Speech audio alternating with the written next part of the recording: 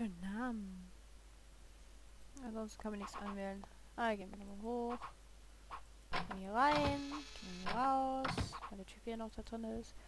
Und werden ihm eine Falle stellen, sozusagen. Gute Idee. Versuchen wir es. Jetzt darf ich keine weitere Taste mehr anrühren. Wenn ich irgendwo einen Fingerabdruck hinterlasse, wird der Plan misslingen. Als nächstes muss ich Willy dazu bringen, den Code, der die Tür öffnet, einzugeben. Dabei wird er Fingerabdrücke auf den richtigen Tasten hinterlassen. So, auch mit, mit dem Reden. Hier, mehr. Hallo Willy. Hey, Kleiner, wie geht's dir? So, gehen wir jetzt nochmal absprechen. Wegen deines Unternehmens. Ja, was ist? Wie heißt noch die Fabrik, für die du Vertreter bist? Äh, die Fabrik? Ach ja, sie heißt Da Button. Ja, genau, Labor Da Button. Stark, nicht wahr? Wie verbindest du deine Arbeit hier im Museum mit deiner Tätigkeit als Vertreter? Es geht mir auf den Keks, dass du mich ausfragst, Bürschchen. Sieh mal, es gibt ein Wort, das mein ganzes Leben regelt. Fachmännisch. Kapiert, Kollege? Und so muss alles sein, Kerl, ich sag's dir. Ich bin ein Fachmann und kriege alles hin, ganz fachmännisch. Und ohne etwas zu vernachlässigen. Ein Profi. Scheiße, ja, Mann, ein Profi. Hör mal, ich weiß es noch nicht genau, aber es könnte sein, dass ich einiges an Laborzeug brauchen werde. Kannst du das für mich besorgen? Klar, Kumpel. Beste Ware zum günstigsten Preis, Mann. Sobald du weißt, was du brauchst, sagst du es mir. Ich besprech's mit den Typen aus der Fabrik. Wenn wir es haben, steht dein Name drauf, Logo. Nur eins, Kumpel. Gezahlt wird bar. Was kannst du mir über Dr. Oliver erzählen? Ach, die Verrückte? Das ist eine unerträgliche Hysterikerin, eine verbitterte, nervtötende Arbeitsbesessene. Die ist ja auch nicht sympathisch, oder? Sie nervt mich den ganzen Tag mit diesem oder jenem. Scheiße, Mann. Außer dass sie unsympathisch ist, ist sie auch noch hässlich wie die Nacht. Dein Kumpel Clive ist eigentlich ganz in Ordnung. Ey, ich sag das nur, weil du es ihm nicht sagen wirst, oder? Ich bin kein Schleimer. Sagst du es denn überhaupt? Viel Stress mit der Maya-Ausstellung, oder? Ich sag's dir, Kumpel, jede Menge. Am meisten nervt mich, dass es in drei Tagen losgeht und diese Hexe von Olivar Überstunden macht. Deswegen ist sie den ganzen verfluchten Tag hier, um diese blöde Ausstellung vorzubereiten. Sag's bloß nicht weiter, klar? Der Teufel soll diesen Drachen holen. Es würde mir besser gefallen, wenn sie nicht den ganzen Tag hier rumlungern würde. Ja. Hör mal, ich wollte dich etwas über das Analyselabor fragen. Schieß los! Hast du gesehen, dass man einen Code eingeben muss, um die Tür zu öffnen? Du kennst den bestimmt, oder? Nein, Kumpel. Ich habe keinen Zugang zu dem verdammten Labor. Ich habe gesehen, dass nur befugtes Personal Zutritt hat. Ja, es sieht so aus, als ob der Kram, den sie dort haben, ein Haufen Geld wert ist. Deswegen gehen sie damit um wie die Mutter der Porzellankiste. Außerdem haben die jetzt gerade eine Steinmaske für die Ausstellung über die Bescheuerten. Die soll ziemlich wertvoll sein. Der Sohn des Oschissa oder so ähnlich heißt die. Der hat einen riesen Rubin auf der Stirn kleben. Wer sich den unter den Nagel reißt, oh Mann. Moment, er hat den Code nicht. Wir haben zwar eben gesehen, dass er den Code eingegeben hat und äh, der könnte auch damit rechnen, dass wir ihn gesehen haben. Oh, nein. Den Code. Nein, nur. Ich kann da auch nicht rein. Nein. Super. Yay. Ich möchte dich nicht weiter stören, Willy. Bis bald. Wir sehen uns. So. Ja, du mit deiner Musik weiter, genau. Da geht's auch noch weiter, aber da müssen wir nicht drin. Da müssen wir ganz kurz drin. Oder? Egal, benutzen wir das Telefon. Mal. Hm. Gute Idee. Ich werde Willy anrufen und versuchen, ihn in das Labor zu locken. Vielleicht bekomme ich dann den Zugangscode. Ich hoffe, dass die Handynummer auf der Visitenkarte stimmt. Und dass es auch sein Handy ist.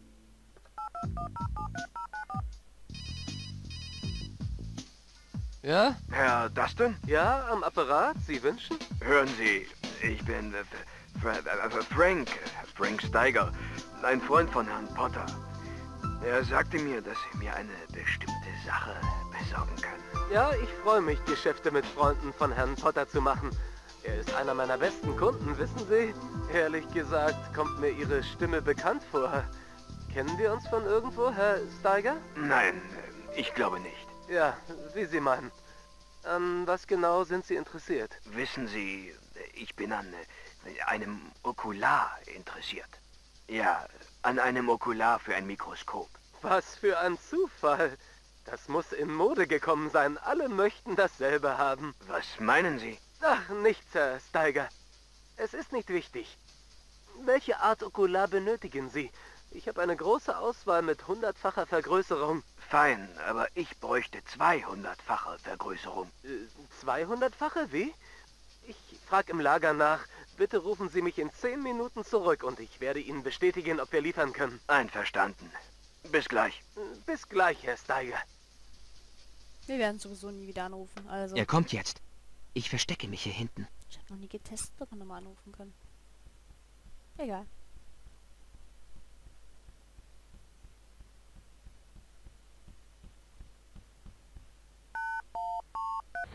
Die Melodie muss man sich auch noch merken, ey. Oh. Wobei nicht mit merken, aber. Ich muss abwarten, bis Willy das Labor verlässt. Dann kann ich versuchen, es zu betreten. Also, Es wäre für uns beide eher peinlich, wenn wir uns drinnen treffen würden. Die Oliver rein. Dann raus. Dann gehen wir mal hier hin. So. Dann benutzen wir das, weil wir haben ja Nagellack drauf gemacht. Oder Lack. So. Egal. Jetzt werde ich Willys Fingerabdrücke deutlich sehen und den Zugangscode herausfinden können. Ich werde das Puder gleichmäßig auf das Tastenfeld auftragen. Genial! Jetzt kann ich Willys Fingerabdrücke deutlich sehen. Es sieht aus, als ob der Lack mit dem Talkumpuder getrocknet ist. Ich kann jetzt die Tasten bedenkenlos drücken, ohne die Fingerabdrücke zu verschmieren. Die Nummern, die den Code bilden, sind die 1, die 3, die 7 und die 8. Ich muss nur die richtige Kombination herausfinden. Wenn ich mich nicht irre, erzeugten die Tasten eine Melodie, als Willy den Code eingab. Ungefähr so. Hm, hm, hm, hm. Das konnte ich, ich kann aus diesem hm, hm, hm, hm, nichts rauslesen. Ich, ich musste nachher alles ausprobieren, bevor ich den Code erlassen hatte. Mir war Sommer echt eklig. Und außerdem ist jetzt die ganze Zeit rumgerannt und der Lack, der war so dünn drauf, der hätte eigentlich direkt trocknen müssen. Aber nein. Ah, egal. Okay. Ja, das ist es.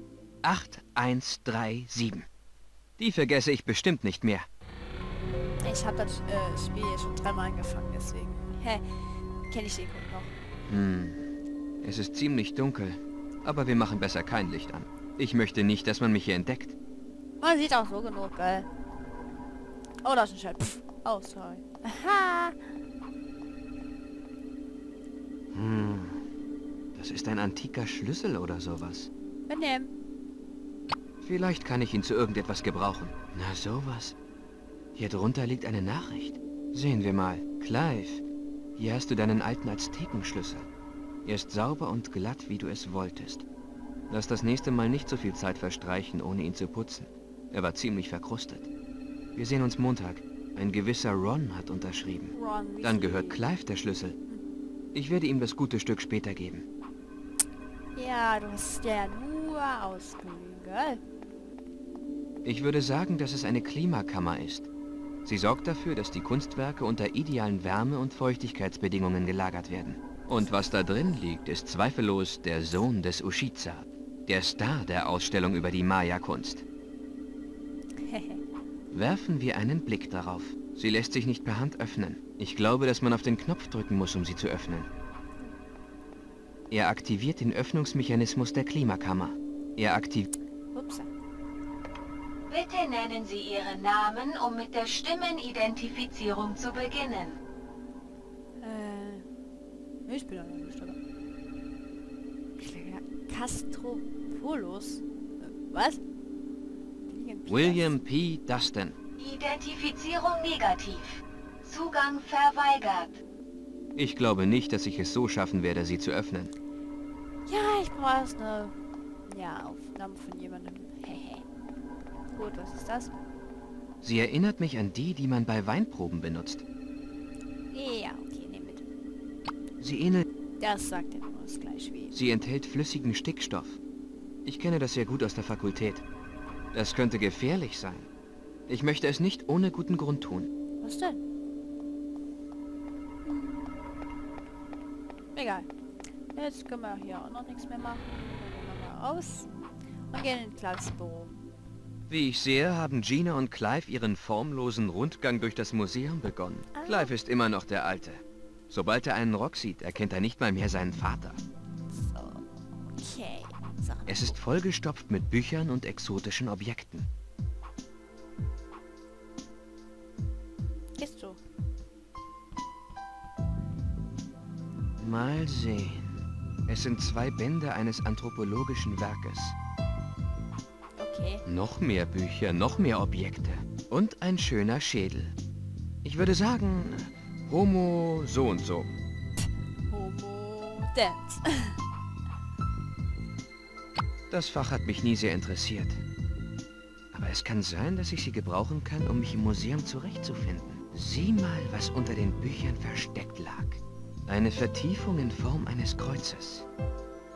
ja. Das zweibändige Standardwerk der Anthropologie. Gut, nehmen den mal. Nein, wir gucken ihn uns erst nochmal. Wozu mag Clive den benutzt haben? Ich werde ihn danach fragen, wenn ich ihm das Stück zurückbringe. Jetzt wissen wir ja wofür. Hä? Ja, ich wette, der Schlüssel passt perfekt hinein. Einfach! Sieh mal an. Was haben wir denn hier? Ein Geheimfach. Hab's doch gesagt. Was ist drin? Sieht aus wie Akten und Papiere. Nein, ich kann Clives Privatdokumente nicht mitnehmen. Schade. Ich vermute, Clive hat es dort für Notfälle aufbewahrt. Mitnehmen. Nein, ich werde keinem das Geld wegnehmen. Schon gar nicht einem guten Freund. Och, Mann. Hier sieht man ja auch noch so ein ganz kleines Ding. Gerät. Das ist fast Das ist ein Diktiergerät. In Ordnung. Ich werde es mir von Clive ausleihen. Find's Ich sehr lege es natürlich später wieder zurück. Wie manche andere Sachen ja auch in diesem Spiel. Die Spritzen. Feuerlöscher, der ein bisschen aufkam wegen dem Lichtchen. Ich kann das Büro doch nicht verlassen und... Ja, stimmt. Ja, will ich ja nicht verlassen, ohne das Dings zurück zu, zu, zurückzumachen, äh, zuzumachen und, äh, Ahnung. Kann man die Bücher wieder drauflegen? Nein, das passt nicht hinein. Ich dachte eigentlich drauf und nicht hinein. Hinein, dass es nicht hineinpasst, das ist mir klar. Ja, gut. Nein. Und ein schöner Sch... Ja, das hat mir doch schon. Ja. Was ist das?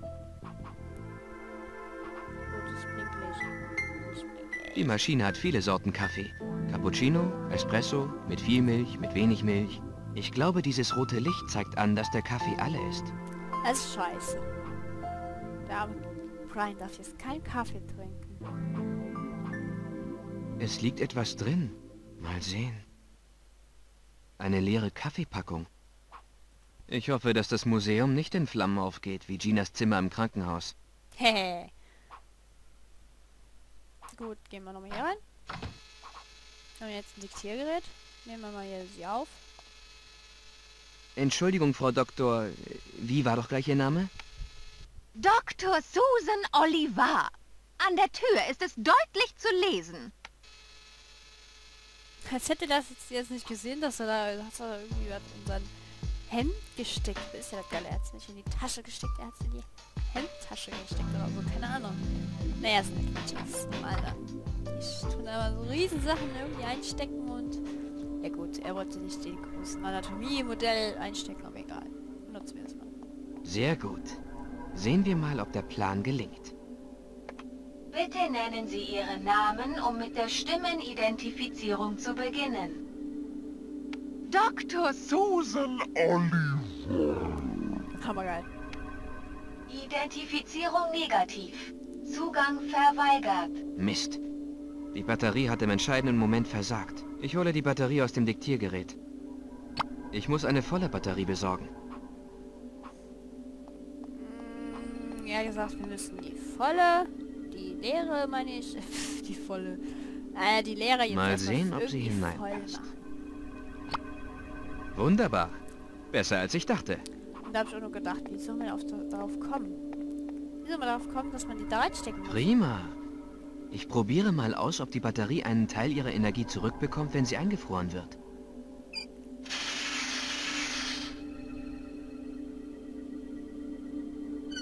Holen wir die Batterie aus der Kelle.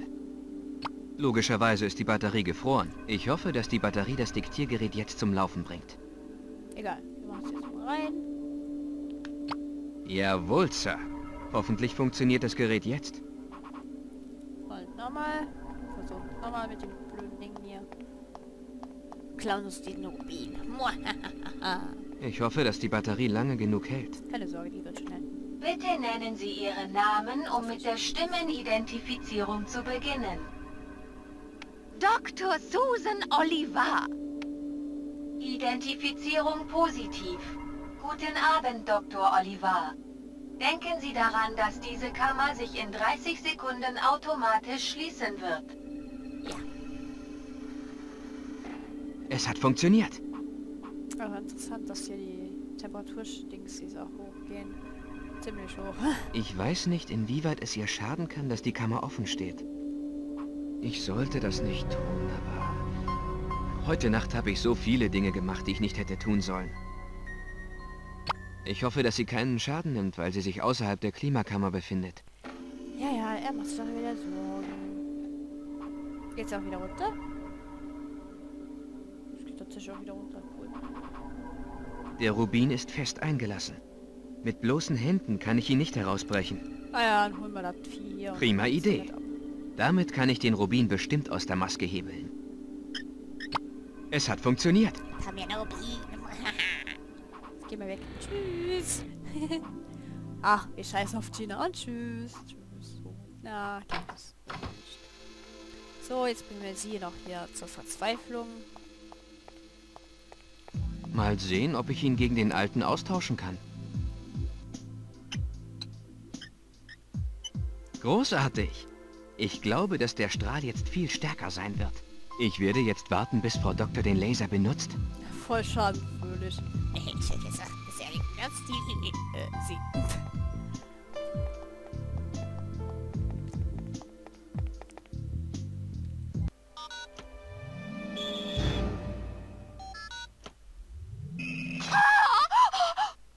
Es hat funktioniert. Frau Doktor tut mir ja leid, aber ich sah keine Alternative. Ich brauche jetzt einen Kaffee. Ja, ja, Ehrenkaffee. Hey, Mama mit dir. Frau Doktor, Sie müssen sich erholen. Jedem kann ein Fehler unterlaufen. Lassen Sie mich. Mein Leben ist ruiniert. Erst fängt mein Mann eine Affäre mit dieser Doktorandenschlampe Candle an. Kurz darauf schließt sich mein Sohn den Krishna-Jüngern an und verlässt das Haus. Und jetzt das. Wenn ich weder meine Familie zusammenhalten noch meine Arbeit tun kann, sagen Sie mir, was soll ich dann mit meinem Leben anfangen? Was sind Christen? Krishna Jung? Ja, keine Ahnung. so. Brauchen wir jetzt... Ah, wir brauchen einen Kaffee. Dafür müssen wir jetzt in die Kammer, wo wir eben noch nicht waren. So. Ah, nein, wir müssen noch nicht rein. Ah, wir müssen den Typ da erst Hm. fragen. Ich verstehe nicht viel von Kunst, aber das hier ist beeindruckend. Sieht lustig aus. das sieht auch lustig aus. Wie sitzt denn der da komisch? Okay, gehen wir mal raus. Müssen erstmal mal mit dem reden. Geh schneller! Renn, Brian!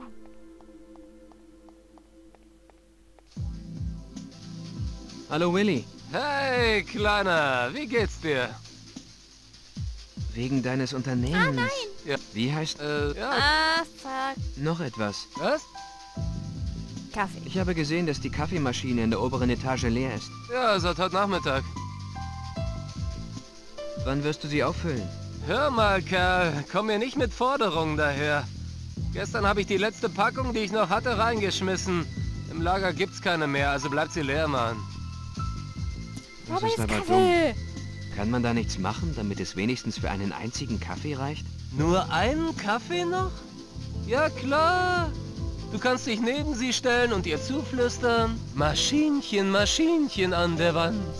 Gib mir eine Tasse Kaffee in die Hand. Nein, verdammt, wenn kein Kaffee da ist, ist einfach kein Kaffee mehr da. Und nichts weiter. Das ist bloß wegen dieser verrückten Olivar. Gott, sie ist wirklich eine verfluchte Irre. Die trinkt mindestens 20 Tassen Kaffee am Tag. Deswegen ist die Hexe total nervös, logisch.